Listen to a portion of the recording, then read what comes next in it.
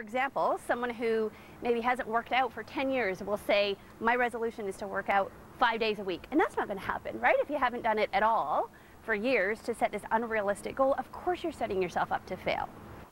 咁佢話想成功嘅話，一定要俾時間自己慢慢咁達成目標。